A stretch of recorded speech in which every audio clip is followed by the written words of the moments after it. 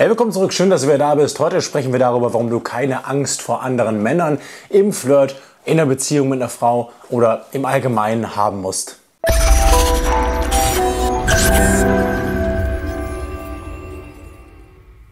Also willkommen zurück. Sprechen wir mal über das Thema andere Männer. Ein Thema, das gar nicht so ein kleines Thema ist und dass ich öfter auch mal von Coaching-Teilnehmern gefragt werde, um, die sich dann sehr viel in Konkurrenz mit anderen Männern sehen oder sich vielleicht Sorgen machen, dass andere Männer kommen könnten und ja, ihre Freundin stehlen oder irgendwas in der Art.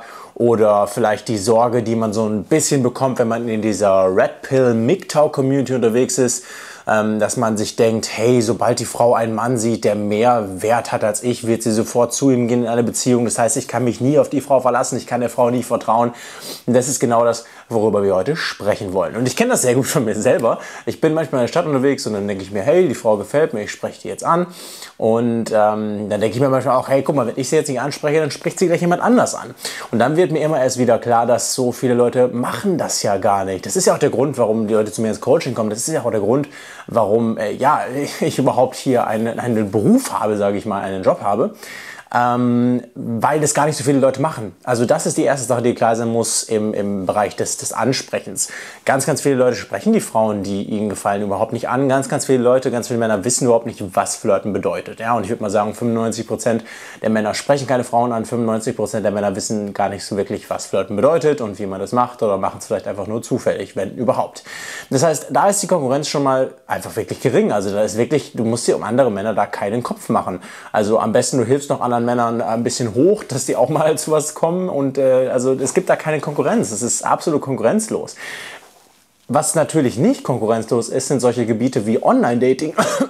Online-Dating ist ein gutes Beispiel für, für ein Gebiet, das eben nicht konkurrenzlos ist. Da sind sehr viele Männer, auch sehr gut aussehende Männer und da geht auch viel über das Äußere. Deswegen äh, Online-Dating, ganz andere Welt. Aber das reine Ansprechen, das Frauen kennenlernen im Alltag, das ist eine ziemlich konkurrenzlose Sache. Ne? Das ist Punkt Nummer eins.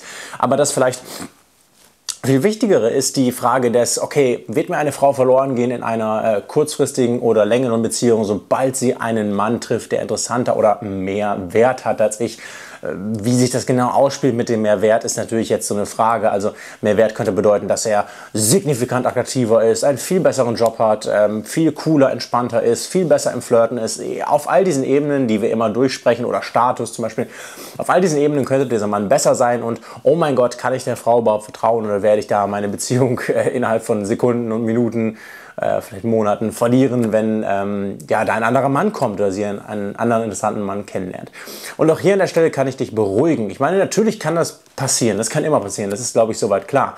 Was man aber verstehen muss und was, was dann auch manchmal in dieser MGTOW und, und Red Pill Community so ein bisschen verloren geht, ist äh, eine, ein psychologischer Faktor, den man immer im Kopf haben muss. Nämlich, was für dich spielt, wenn du mit einer Frau zusammen bist, ist, dass ihr eine gemeinsame Zeit habt. Ihr habt eine gemeinsame Vergangenheit und diese gemeinsame Vergangenheit, die bindet euch eben zusammen.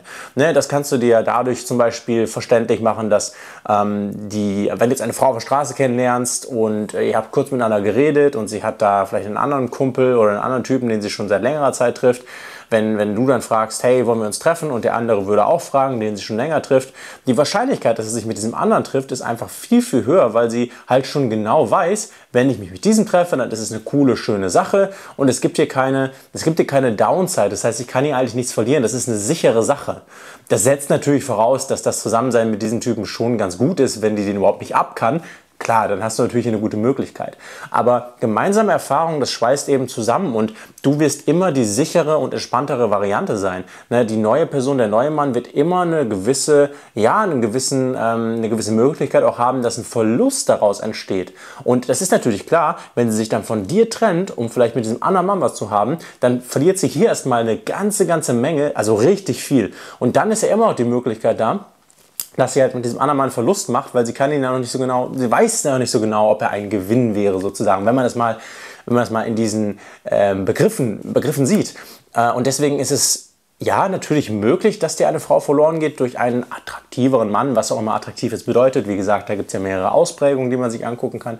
Ja, natürlich ist es möglich, man kann nie sagen, das ist unmöglich, aber wenn du wirklich in einer Beziehung bist mit einer Frau und die ist schon eine Zeit gegangen und ihr habt schon Zeit miteinander verbracht, also ich meine jetzt nicht, oh, ich habe sie zweimal getroffen innerhalb einer Woche, boah, jetzt bin ich absolut sicher, dass da kein anderer Mann kommen kann.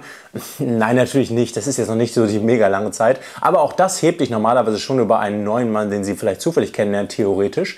Aber wenn du wirklich mit deiner Freundin über ein paar Monate, und das ist ja nun wirklich keine lange Zeit für eine Beziehung, über ein paar Monate zusammen bist, da musst du dir da nicht so einen riesen Kopf drum machen. Also, wie gesagt, möglich ist es immer, möglich ist es auch auf der Straße oder, oder dass Männer sich Sorgen machen, oh Gott, was ist denn, wenn ich eine Frau auf der Straße anspreche, da kommt ein anderer Typ dazu. So was passiert einfach nicht. Das passiert einfach nicht. So im Club vielleicht Ah, eigentlich passiert das nicht. Nein, es passiert eigentlich nie. Du musst, es, gibt in, es gibt in diesem Gebiet eigentlich keinen Punkt, wo du dir irgendwo Sorgen um andere Männer machen müsstest. Das kannst du dir wirklich sparen, die Energie kannst du dir wirklich schenken. Einzige Ausnahme ist halt Online-Dating. Das ist einfach schon so ein Bereich, wo natürlich viele Männer unterwegs sind, einfach auch weil es sozial anerkannt ist. Ne? Also es macht einfach jeder, kann man einfach so machen. Ähm, da ist natürlich schon eine gewisse Konkurrenz, das ist klar. Aber genau deswegen konzentrieren wir uns ja auch hier auf alle Bereiche und speziell auf den Bereich des Alltagsflirts, sage ich mal, so nenne ich es jetzt mal, ähm, auf den sich halt niemand konzentriert, weil niemand weiß, wie das geht und weil sich niemand traut. Ne? Und deswegen in Beziehungen, so wie beim Kennenlernen, du hast eigentlich keine wirkliche Konkurrenz. Also das ist eine ganz konkurrenzlose Sache.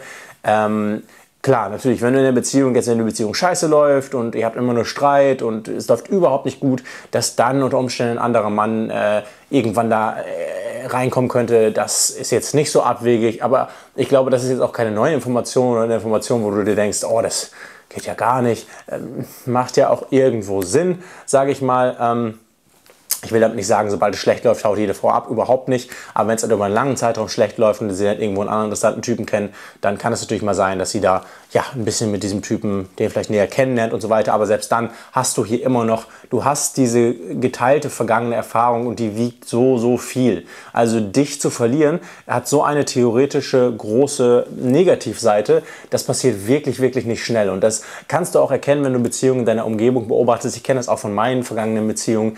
Ähm, selbst selbst wenn eine Beziehung sehr, sehr scheiße läuft, ist es noch so, dass man sehr, also die Leute bleiben tendenziell sehr lange in der Beziehung noch drin. Ich hatte das auch mit äh, einer Ex-Freundin, mit der ich dann wirklich fast noch ein Jahr zusammen war, wo es eigentlich schon nicht mehr so richtig lief, weil halt niemand von uns, ja, wir wollten halt, oder wir hatten Angst vor der theoretischen, vor der theoretischen Downside, vor dem, vor dem Verlust, den wir machen würden. Und deswegen sobald man geteilte Vergangenheit miteinander hat und je mehr das wird, desto fester ist das und das ist wirklich nicht so einfach zu lösen, wie manche Leute das vielleicht glauben. Deswegen brauchst du wirklich kein Kon Konkurrenzdenken äh, an den Tag legen und musst dir äh, in diesem Gebiet einfach keine Sorgen um, um andere Männer machen.